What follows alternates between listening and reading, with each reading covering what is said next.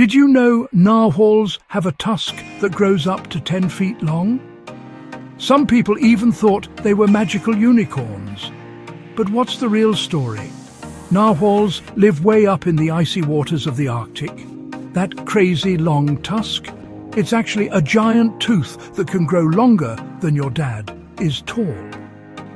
Scientists think narwhals use their tusks to break ice, show off to other narwhals, and maybe even find food by sensing what's in the water.